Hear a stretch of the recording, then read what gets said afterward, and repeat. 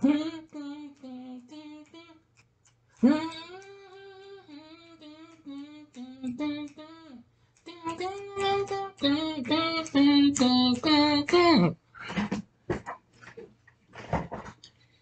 can't believe it. Another show's got an anniversary today, so I'm about to give you another TV log. Can you believe it's been 35 years since we got to see a show about a girl who apparently gets two fathers, or should I say dads. Here we go with my, my latest TV log on My Two Dads, which is celebrating its 35th anniversary. This is a Big D's Entertainment Rankings and Reviews TV log. Greetings, my fellow YouTubers. Welcome to Big D's Entertainment Rankings and Reviews. My name is Dual, better known to us the Big D. Back again with another TV log. Today I'm going to be bringing to you another show that is turning 35 this year. Of course, the other day I did DuckTales, which turned 35. But this time I'm about to tackle a show that's a sitcom. This is a show I never did take the time to watch when I was a kid, but growing up, I finally caught the show in reruns, and well, this makes makes another show that I've actually seen completely, alongside shows I've seen like Small Wonder, Punky Brewster, Out of This World, Charles in Charge, Mr. Belvedere, Silver Spoons, which that is coming up later on. Look for the TV log of that coming soon. Rags to Riches, and this show right here, prepare yourselves because you're about to see this, to hear about the story of a gal who is about to get to be with two fatherly figures. As I bring to you My Two Dads. My Two Dads was an American sitcom that originally premiered on NBC on this day, which of course was September 20th, 1987. The show was produced by TriStar Television along with Michael Jacobs Productions, who of course would later go on to produce Dinosaurs. Now, I also want to say Michael Jacobs also had recently worked on Charles in Charge as well, and also he would work on not just Dinosaurs, but Boy Meets World as well. So, that's pretty good. And then, well, and later on, Columbia Pictures Television took over for the rest of the series run. The show was distributed by Televentures.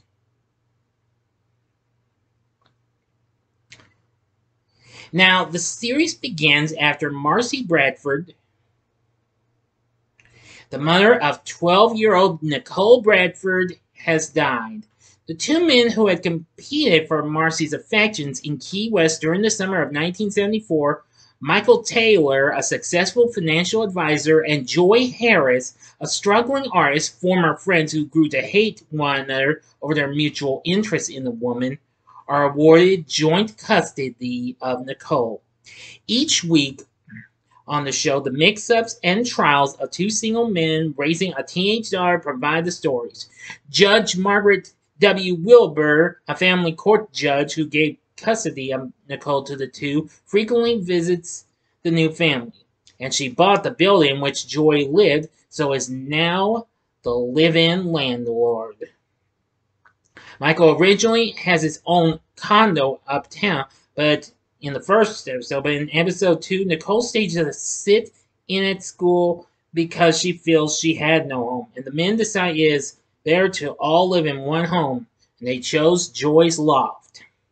Now, Nicole's actual paternity is never revealed on the show, but in one episode, Michael and Joey, after a falling out, have a DNA test to determine which of them is Nicole's biological father. And the test is conducted against Nicole's wishes. She is happier not knowing who her true father is, and she destroys the results before opening them. And Michael and Joey later resolve their differences and reconcile. Judge Wilbur looks at the results but throws them away without revealing them to the audience. The series comes to an end when Joey reconnects with her with a former girlfriend named Sarah and eventually moves to San Francisco to live with her and her daughter Grace. He stays in contact with Nicole, Michael, and Judge Wilbur, all of whom remain in New York. Nicole writes a letter to Joey in which she makes reference to going out to San Francisco to visit, and she ends by saying that no matter what, or where he is, or who he is with, she would always be happy with him as one of her two dads. Anyway, after only three seasons, and with a total of 60 episodes produced and aired, the show came to an end in April of 1990. Now, the show started out for one big season with 22 episodes, but then was absent for a while. But however, in January of 89, it returned for its second season with only a mere 16 episodes. And then in September of that same year, it was picked up for a third season and ran until April 30th. Now, after the series ended, USA later got to air the show throughout the 90s and again the early 2000s. But I'd say that was the only network I know of that re-aired them until Antenna TV picked it up later on. Now, you can catch the show on either that or its spin-off channel, Rewind TV. Check your local listings. Now, Tubi also had the series. I don't know if they still have it. If they do, you can check out there. I have revisited all the episodes, including ones I didn't take the time to watch.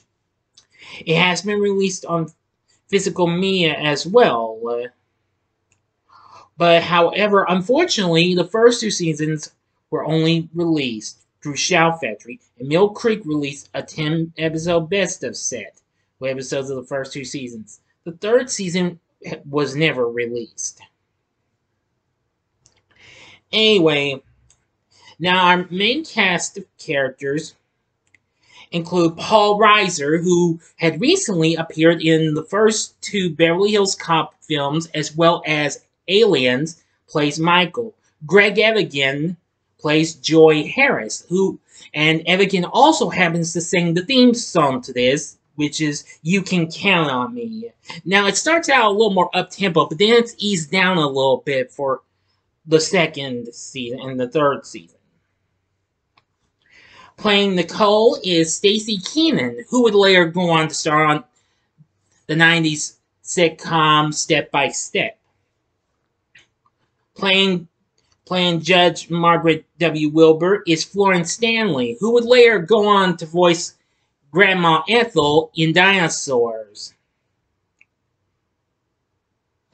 Vonni Ribisi, as he's credited as, but that's Giovanni Ribisi to you, plays Corey Kupkus, a friend of Nicole's, and, well, supposed little love interest of hers. And then there's Dick Butkus, big time football star, plays Ed Klawicki, who runs the restaurant in the building Joey's at, called Klawicki's. Now, it would be changed for the third season called The Judge's Court, which uh, um, Judge Wilbur takes over involving that. Klawicki was only in the first two seasons. Next up, Chad Allen, who recently had appeared on Punky Brewster, and he also appeared in a short-lived NBC dramedy called Our House. Plays Zach Nichols in the second third season. Amy Hathaway plays Nicole's best friend, Shelby Haskell, also in the second third seasons. Zach was actually Nicole's other little love interest. And he and Corey competed for Nicole's affections. Yes. Let me see.